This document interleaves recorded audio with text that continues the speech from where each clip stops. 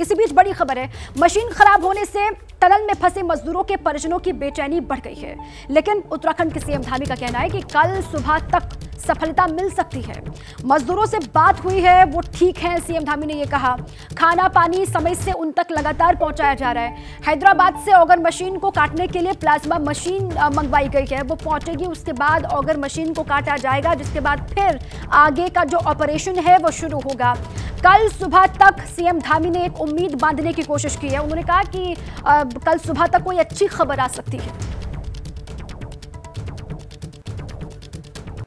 जितने भी हमारे पास रास्ते हो सकते हैं उन तक पहुँचने के उनको बाहर निकालने के उन सभी पर काम होगा। एक साथ काम देखिए सारे ही संसाधन यहाँ पर उपलब्ध हैं और जो संसाधनों की आवश्यकता पड़ रही जैसे प्लाज्मा कटर यहाँ पर नहीं था। प्लाज्मा कटर तत्काल मंगाया गया है। अन्य भी जो संसाधनों की आवश्यकता पड़ रही है, चाहे अन्य टेक्नोलॉजी की आवश्यकता पड़ रही है सभी यहाँ पर उपलब्ध करवाई तो सीएम धामी को आपने सुना, लगातार वो नज़र बनाए हुए हैं, वहाँ पर जाकर के जायजा भी लिया, संजय त्रिपाठी भी लगातार बने हुए। संजय सीएम ये उम्मीद बांधने की कोशिश ज़रूर कर रहे हैं, हालाँकि वहाँ पर क्या परेशानियाँ हैं, क्या जटिलता है, उसके बारे में भी अंकित और दीपक लगातार बता रहे हैं। लेकिन सीएम ये कह रहे हैं कि कल सुबह तक हो सकता है कोई अच्छी खबर मिले, सफलता मिल जाए।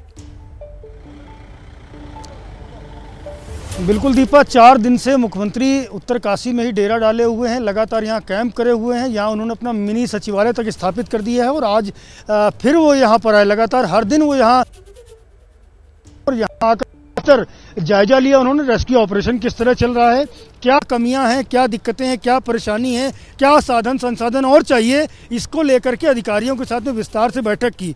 उन्होंने ये भी कहा कि कल जो जो प्लाज्मा मशीन है, वो आ जाएगी और चूँकि जो ऑगर मशीन है, उसकी लगभग छब्बीस मीटर की जो बिड है, वो अंदर अभी फंसी हुई है, जिसको प्लाज्मा कटर के ज़रिए ला करके और काटने का काम शुरू होगा। तो अगर जब तक प्लाज्मा मशीन यहाँ नहीं पहुँचती है और जो ऑगर मशीन की बिड है उनको जब तक काट करके बाहर नहीं निकाल दिया जाएगा तब तक जो रेस्क्यू ऑपरेशन है वो आगे नहीं बढ़ पाएगा क्योंकि वो पूरी तरह जाम हो रखा है पाइप जो 800 सौ का पाइप है वो पूरी तरह प्लाज्मा मशीन के बिड से जाम हो रखा है। उसको निकालने का काम किया जाएगा और उसके बाद जो लेबर है यहाँ की वो एक एक करके भीतर जाएगी और मैनुअली उसको देखेगी पहले जो ऑब्सेक्शन आया है वो क्या है उसको काट करके हटाया जाएगा और बाद में जो काम ऑगर मशीन कर रही थी जो काम जो काम ऑगर मशीन कर रही थी वो मैनुअली वहाँ पर अब किया जाएगा। प्लाज्मा मशीन आएगी ऑगर मशीन का जो हिस्सा अंदर फंसा हुआ है उसको काटा जाएगा उसके बाद फिर काम आगे बढ़ेगा। अभी भी वहाँ पर काम जो एक्सपर्ट्स की टीम है वो लगातार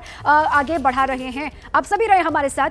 देखिए आपके मन में सवाल होंगे कि आखिर क्यों हटाई गई ऑगर मशीन इसके बारे में आपको विस्तार से हम बताएँ। देखिए यहाँ पर एक काम लगातार चल रहा है।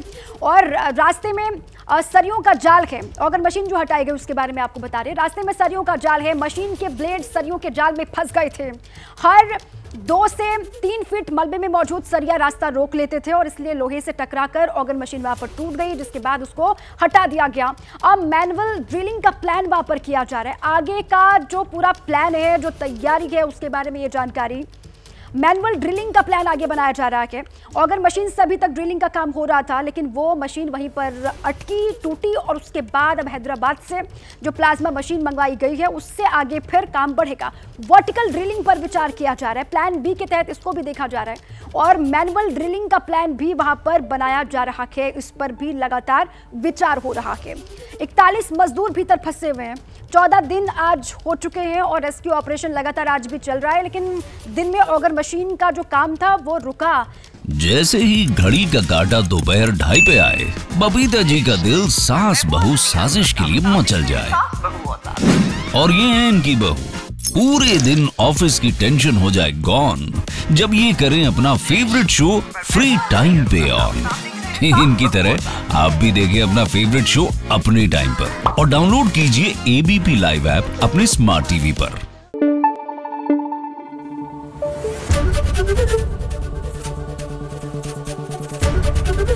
एबीपी न्यूज़ आपको रखे आगे।